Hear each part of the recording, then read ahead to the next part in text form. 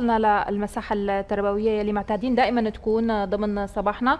قربت الامتحانات رشا والاستنفار اليوم على كافة استنفار عامل مشكلة يعني حتى ما له علاقة اليوم مستنفر. صحيح على صعيد الأسرة أو على صعيد السلك التربوي. رح نحكي أكثر اليوم عن التحضيرات لسير العملية الامتحانية عن توزيع المراكز الامتحانية عن المراقبة وكثير من الاستفسارات يلي كانت حقيقة يعني من الكادر التدريسي من المعلمين وأكيد هي بتهم الطلاب لنحكي هي التفاصيل. بيسعدنا نرحب بالأنسة رائدة عسكر رئيس دائرة التوجيه والمناهج في مديرية تربية ريف. دمشق يسعد صباحك وأهلا وسهلا فيك. صباحكم يسعد صباح كل مشاهدينا صباح الخير. صباح النور هلا. أهلا وسهلا بحضرتك. عم نحكي عن فترة اليوم مو بس الأهالي أو الطلاب الضغط عليهم.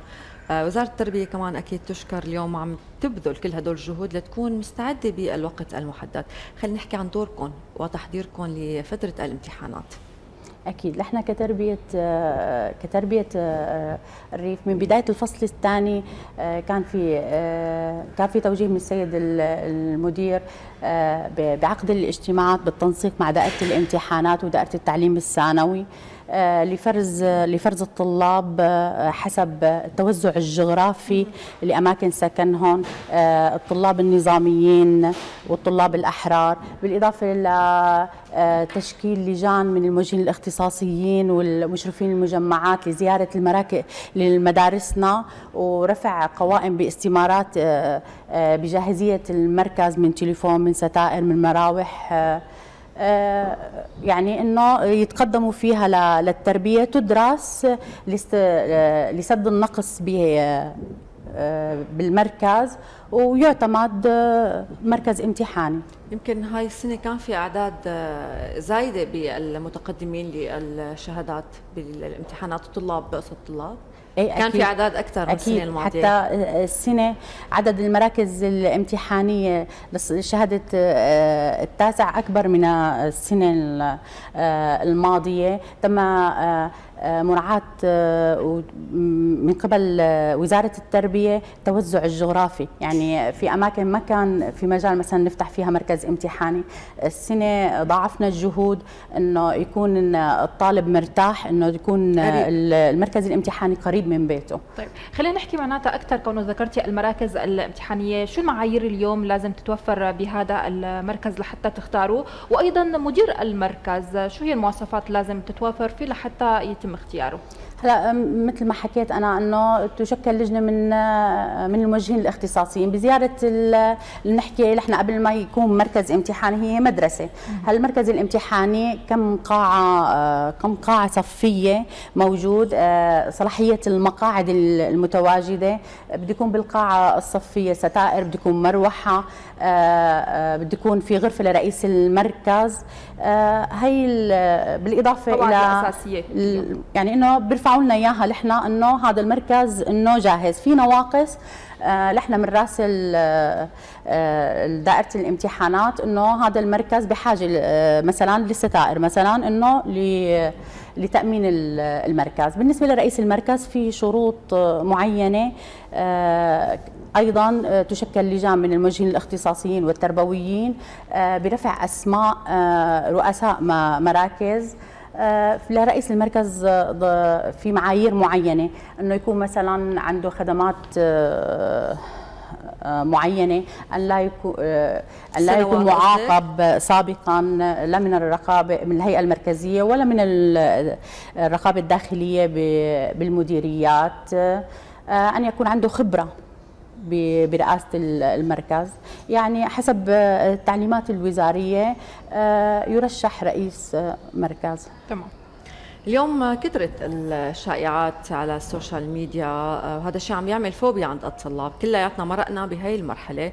آه، وشفنا يعني أو حسينا نحن وقت نفوت قاعة الامتحان شعورنا إن كان بالألم الجسدي اللي هو وهم. بس من خوفنا يعني. آه اليوم كثير انتشرت ما هلأ هي ما اشاعه بس اليوم من خلال حضرتك بدنا نثبت شوي بعض المعلومات اللي شفناها على الفيس. وجود كاميرات ضمن القاعات. عم تكون الكاميرات بكل المراكز واللي أو بعض المراكز. لا أكيد آه، آه، طلابنا اللي هن بالأساس أبنائنا ابني وابنك واخوك هي عنده ضروري يعني بيكون متوتر هي سمرة تعب. عام عام كامل. بالنسبة لوضع الكاميرات بالتأكيد يعني بكل بكل منطقة تعليمية بدنا نحكي حسب إمكانياتنا. مثلا ممكن يكون مدرستين ثلاثة أربعة حسب الإمكانيات. مو ما بيكون. بس إذا تسأليني ليش مثلا فكرة. شو الفكرة, فكرة انه إنه ليش مثلا هذا المركز أو كذا. بيكون نحن مثلا إنه هي المدرسة مثلا أكبر تجمع مثلا. ممكن إنه يكون في سابق سنوات سابقة بيكون في شكوى مثلا عليها هذا هذا المركز. هلأ بالنسبة للكاميرا شيء إيجابي بس بالخارج إنه إنه هو عم يراقب الطالب كذا. لا هو عم يراقب العملية الامتحانية بالنسبة لرئيس المركز بالنسبة للمندوبين التربويين مندوبين الوزارة بالنسبة للطالب بتحفظ له حقه الهدوء بالقاعة الامتحانية بالنسبة أيضا للمراقب اللي بقلب القاعه كم مراقب اليوم حيكون بقلب القاعة؟ اثنين أو ثلاثة. تمام. يعني لا يتجاوز ثلاثة واثنين. طيب. آه، بمجرد فاضل الطالب ونحن كلنا كنا طلاب بنشوف يعني منهم بتصيبهم حالة انهيار بكاء آه، يعني أو بيوقفوا فبتصير هيك حالة بلبلة إذا بدنا نقول بالقاعة الامتحانية. اليوم كيف عم يعني عم تتعاملوا مع على مدار هي السنين عم تتعاملوا مع هي الحالات اللي عم تكون؟ وفي ضرورة اليوم لوجود مرشدين نفسيين بهذا الخصوص بالمراكز برأيك؟ هلا طبعا نحن آه، آه، عملنا لجان تمت زيارة آه، بالنسبة لنا نحن كتربيه الريف بتوجيهات من السيد المدير قمنا نحن والسيد معاون مدير التعليم الثانوي مع رئيس دائرة الامتحانات رئيس دائرة التعليم الثانوي بزيارة آه، المناطق المرشح فيها رؤساء المراكز. يعني طلعنا على النبك طلعنا على القطيفة التقينا مع رؤساء المراكز أعطيناهم توجيهات أنه لما يلتقي الصبح بالطلاب يكون آه، توجيهاته أبوية. يعني يعطيهم الراحة النفسية أنه يا أبني أنه أنا معك هون بالامتحان. أنه تقعد بهدوء مثلا. أنه يعني أنه ما يعني يعطيه الأمان والراحة. بالنهاية هن أولاد أولادنا. يعني ورئيس المركز هون هون بيلعب بيلعب دوره بالتفتيش الوقائي اللي أكدنا عليه نحن الصباحي اللي بيحمي آه، الطالب آه، مسؤولية رئيس المركز. التفتيش الوقائي آه، آه، لما بيكون من المرشد من بيكون في شخص معين بفتش الوقائي أنا حميته لهالطالب إذا نسيان قصاصة بجيبته بدخوله للقاعة اشرح شوي هيك الامتحانية. المعنى العام كرمال كل حدا عم يشوفنا التفتيش الوقائي شو هو بالضبط؟ يعني اليوم الطالب شو حامل معه هلأ ممكن يكون نسيان جواله. يعني آه، في التعليمات الوزارية ممنوع نهائيا آه، دخول آه، الجوال المركزي الامتحاني. ممكن يكون مثلا عم بالطريق عم يراجع قصاصة ورقة مثلا أو كذا ينساها بجيبته. هون دور دور رئيس المركز والمشرف الأنشطة بالتفتيش الطالب. مو بالضرورة إنه الطالب قبل الامتحان إذا لقيت معه قصاصة إنه والله إنه هو بده يدخلها معه على المركز الامتحاني. بجوز الطالب متوتر نسيان هالقصاصة بجيبته جايبته أنا أنا هون بحمي بحمي آه، الطالب بشيل القصاصة من الهي بعد بعد الامتحان ضرورة التنظيف والتعقيم. ممكن مثلا الطلاب مثلا يكون مثلا أحدهن يعني ما ما, بدنا نحكي مثلا أخذ له شيء قصاصة وقعت بقلب القاعة ما انتبه عليها المراقب وقعت بالكذا. ضرورة أكدنا على المستخدمين ورئيس المركز إنه تنظيف القاعة بشكل بشكل آه، آه، يومي. طيب آه، خلينا نحكي ذكرتي حضرتك الجوال وكان في شوية خلينا نروح اليوم بس لموضوع الإشاعات إنه اليوم الطالب اللي عم يلقط معه الجوال ما عم يرجع. هل هذا صحيح هذا الكلام؟ هلا التعليمات الوزارية في حال في حال تم ضبط جوال مع الطالب يكتب ضبط بحاله هو يستخدمه خلال العملية يكتب بحالة يوضع الجوال بقلب المغلف ويرسل إلى دائرة الامتحانات مع التقرير بحالة ضبط الغش. وهناك دائرة الامتحانات يعني إنه في في في عقوبة يعني. في إجراءات. تمام.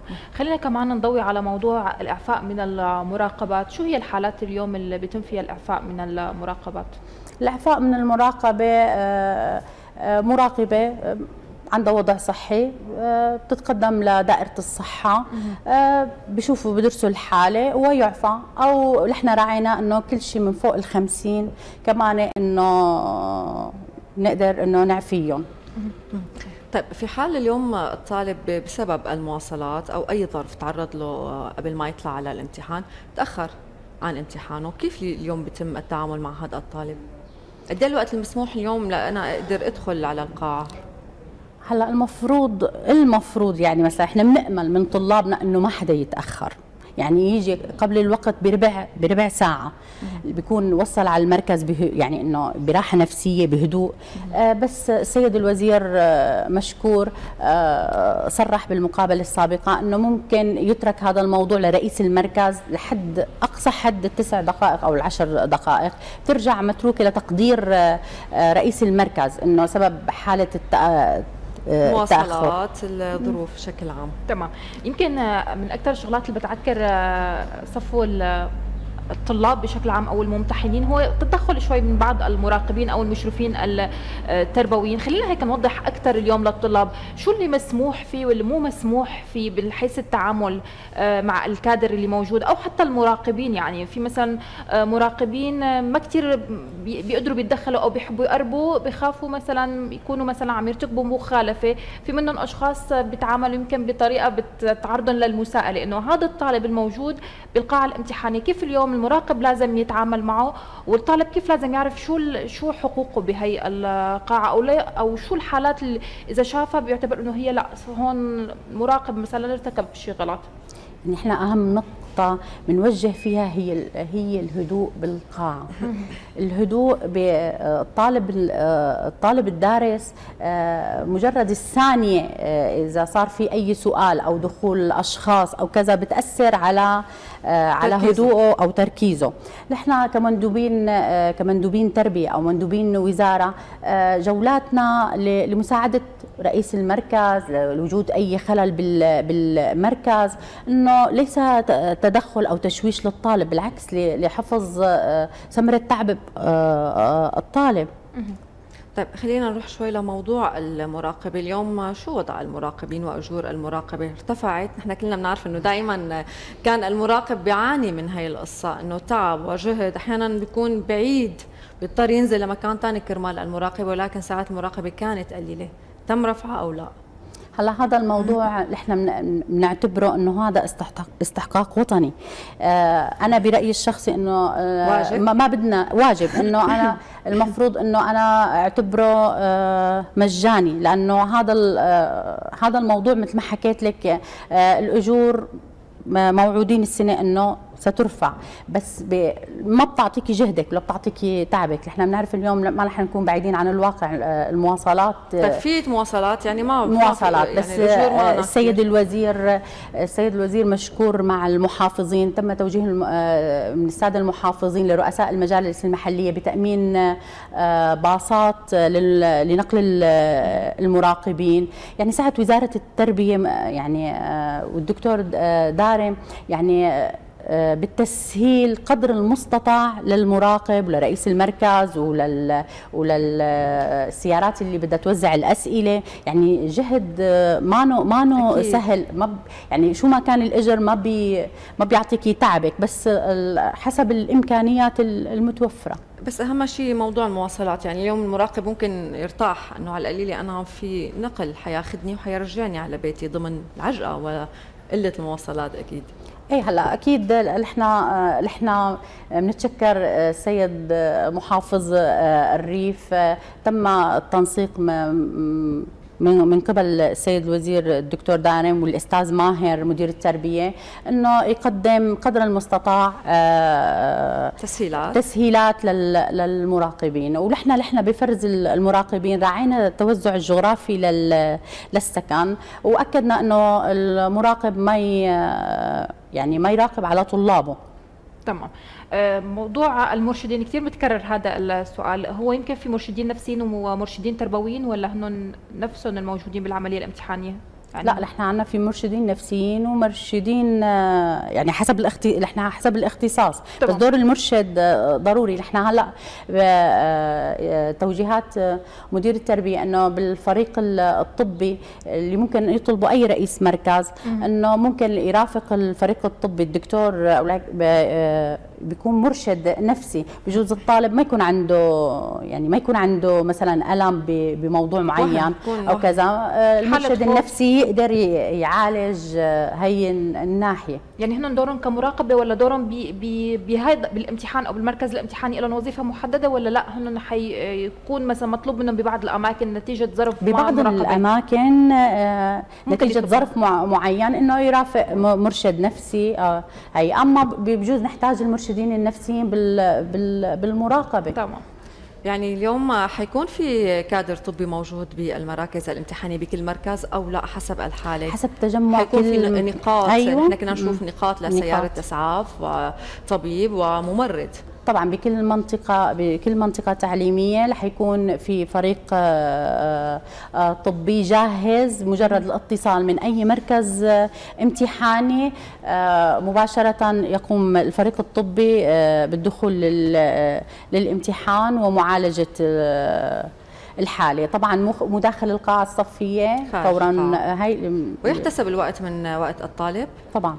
تمام أو ممكن نعطيه شيء زيادة في حال يعني صار في وضع مشان نطمن اليوم طلابنا إنه اليوم أي حالة طب صحية ممكن تصير بنعالجها وبيرجع ل آه، بيرجع لقاعته هذا الوقت اللي راح خلال المعالجة. هذا الموضوع بقدره رئيس آه، المركز. إذا كانت إذا فعلا إنه هالخمس دقائق اللي إجوا فيها إنه بحاجته بحاجته ولا لا.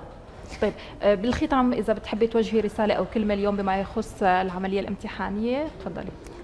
هلا بوجه لكل أهالي آه، أبنائنا آه، الطلاب إنه نحن معاكم وسعى سعت وزارة التربية ومديريه تربيه الريف حسب الإمكانيات آه، لإطمئنان أبنائنا الطلاب وتقديم تقديم الامتحان ونيل ثمرة تعب عام كامل.